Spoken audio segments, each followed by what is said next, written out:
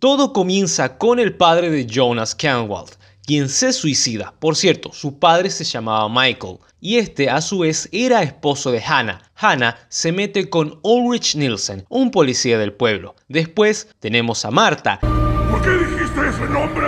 quien antes andaba con Jonas, pero que ahora anda con Bartos. Aquí de paso tenemos a otros personajes como por ejemplo Magnus, Francisca y bueno, el propio Bartos. Todos estos personajes viven en Alemania, más precisamente en el pueblo de Winden. Bueno, aquí resulta que desapareció un joven llamado Eric. La cosa es que una noche todo este grupo de chicos van hasta una cueva donde Eric solía drogarse o algo así. Y por cierto, quien también se le suma es Mikkel, el hermano más pequeño de Marta y de Magnus. Y es aquí donde todos salen corriendo porque escucharon sonidos extraños. Y la cosa es que Mikkel se pierde y para todos ahora es un niño más desaparecido en el pueblo. Pero no, resulta que Mikkel no desapareció. Bueno, sí en su línea del tiempo, pero resulta que Mikkel viajó al pasado, más específicamente al año 1986, época en la cual se va a quedar y donde también va a conocer a la versión joven de Hannah, quienes luego tendrán a un hijo que será el mismísimo Jonas. Volviendo con Mikkel, este será criado por la enfermera Inés Canwald, porque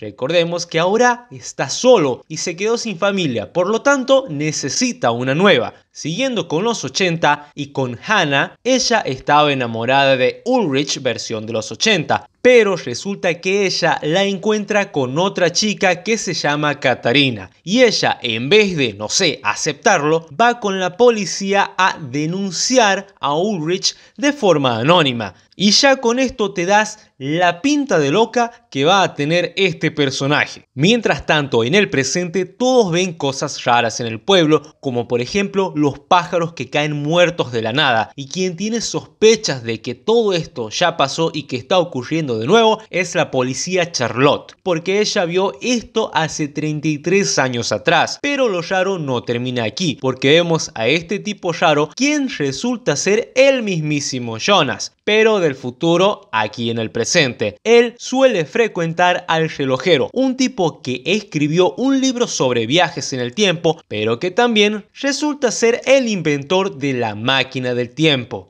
Siguiendo con Jonas, bueno, no con este, sino con el Jonas de 2019, los vemos viajar al año 1986. Este pretende llevarse a Mikkel a su época, pero este es detenido por su versión un poco más vieja, quien le dice que no puede llevarlo porque pondría en riesgo su propia existencia, dado que Mikkel es su padre. Sí, Mikkel es Michael. Ya en el presente tenemos a un viejo que dice todo está pasando de nuevo, todo está pasando de nuevo y anda así siendo el viejo loco del pueblo. Pero dejemos al viejo loco del pueblo porque resulta que Charlotte tiene una hija sordomuda llamada Elizabeth. Ella se pierde, pero al toque aparece y le dice a su madre que estuvo con un hombre llamado Noah, quien a su vez le entregó este reloj de bolsillo. Luego, Ulrich, cansado de todo esto, decide dejar a su amante Hannah, dado que ya era demasiado haber perdido a su hijo Mikkel. Luego, Ulrich y Charlotte encuentran el cuerpo de un niño, pero resulta que no es de su hijo desaparecido, sino que es de su hermano. Ah, porque no te conté. Resulta que Ulrich, cuando era más joven,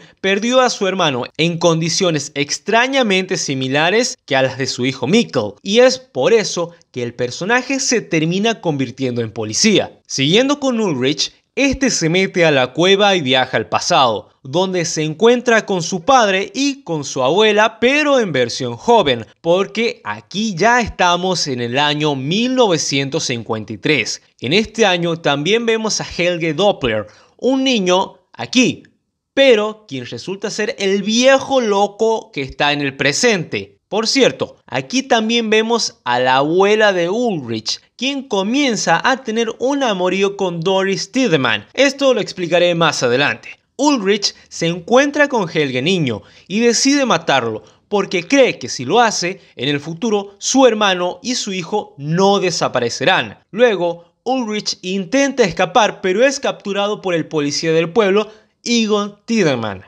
quien a su vez es el marido de Doris Tiedemann.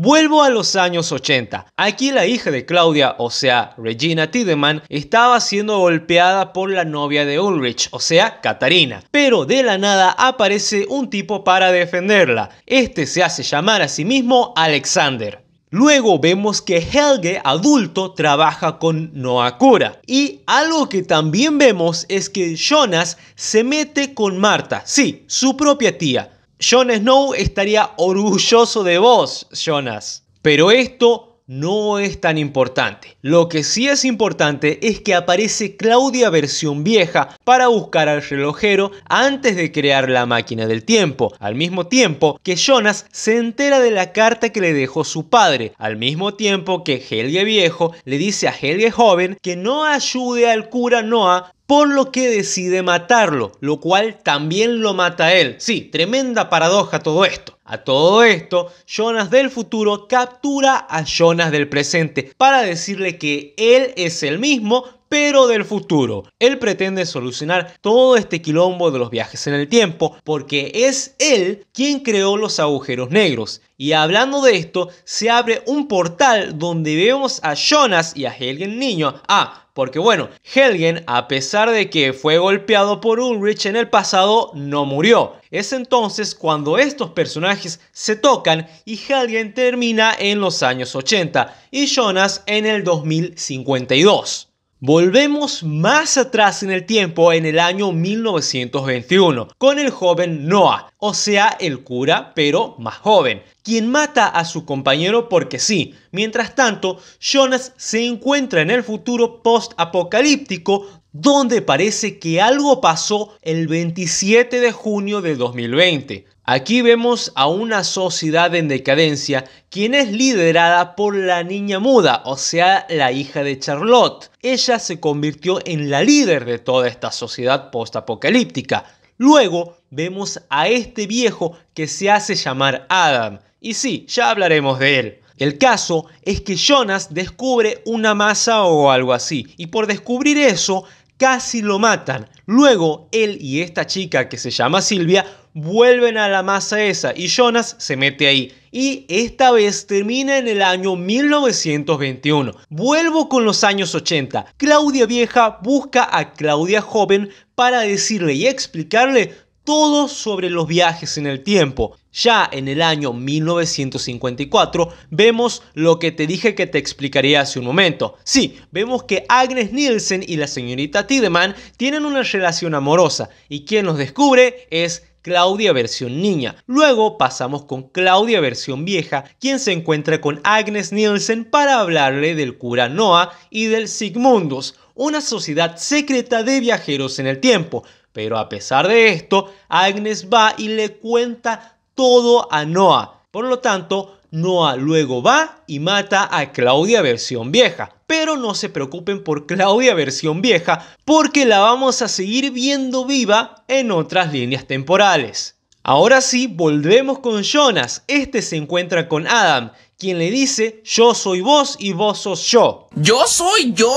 Oye, tranquilo, no te pases de listo conmigo, muchacho. Bueno, el caso es que Adam es el líder del Sigmundus y quiere dominar el tiempo en sí, pero regresando con Ulrich, este es visitado en la cárcel por Hannah. Ah, porque resulta que Hannah viajó al pasado solamente para ver a Ulrich sufrir. Años después, Ulrich se escapa del manicomio y se encuentra con su hijo Mikkel. Y era que iban a volver a su época, pero al final no, porque los detienen. De vuelta en el año 2020, el cura Noah se encuentra con Charlotte y este le revela que él es su padre y que Elizabeth, su hija, es su propia madre. Tremenda paradoja. Luego de esto, Adam le dice a Jonas que debe impedir el inicio de todo esto, por lo que lo manda al año 2019, más precisamente al día en el cual su padre se mató, pero el padre no tenía intenciones de matarse y quien le mete la idea indirectamente de esto es el mismísimo Jonas. Luego de esto aparece Claudia versión vieja, quien le explica que los acontecimientos no se pueden cambiar, por lo tanto se lo lleva. Es este mismo Jonas aquí quien resulta ser el causante de la desaparición de Michael y también de la incitación al incesto de su versión 2019 con su tía Marta. Y es aquí como llegamos al fin del principio o al principio del fin. Ya en el año 2020, ya en el día 27 de junio, donde va a ocurrir todo el apocalipsis. Pero antes de que esto suceda, Jonas es esconde a su tía en un búnker, al mismo tiempo que Katarina se mete en la cueva para ir a buscar a su hijo Mikkel, mientras que el cura Noah intenta rebelarse contra Adam. Pero Agnes Nielsen, la abuela de Ulrich, lo mata. Luego vemos a Jonas con su tía y estaban ahí amándose de lo más lindo hasta que aparece Adam y la mata. Ya en los años 20, la masa deforme se activa y quienes también lo hacen al mismo tiempo son el grupo de chicos. Y al mismo tiempo se abre un portal donde Charlotte toca la mano de su hija, quien a su vez es su propia madre. Y es así como se arma todo este caos apocalíptico. Y es aquí en donde en todos los tiempos se arma tremendo quilombo. Y si todo esto te parecía un quilombo que no terminaba más, doña, no, esta ni siquiera es su forma final. Resulta que Marta, pero no la Marta que recién murió, sino esta otra Marta, es una Marta proveniente de otra dimensión y se encuentra con Jonas para llevarlo a otro mundo. Y es así como termina Dark. Y nos deja más preguntas que respuestas, como por ejemplo, ¿a qué época viajó Catalina? ¿Agnes es buena o mala? ¿Bartos adulto en dónde está? ¿Por qué ella no me ama? ¿Por qué sigo solo? Digo, eh, ¿por qué Jonas? ¿Cómo Jonas se va a convertir en Adam? Todo esto y más seguramente va a ser contestado en la última temporada de Dark. Y este ha sido el resumen de Dark, temporada 1 y 2. Espero que les haya gustado. Ahora más que nunca les voy a pedir like, suscribida, campana y compartir esto con un amigo porque créanme que ha sido muy difícil hacer todo esto. Así que eh, sería un gran apoyo que lo hagan. Así que no tengo nada más para decir, salvo de que recuerden que el fin es el principio o el final es el... No, el fin es el principio, el principio... ustedes me entienden. Esto es ha sido todo por ahora. Nos estamos viendo en un próximo resumen. Espero que les haya gustado. Nos vemos.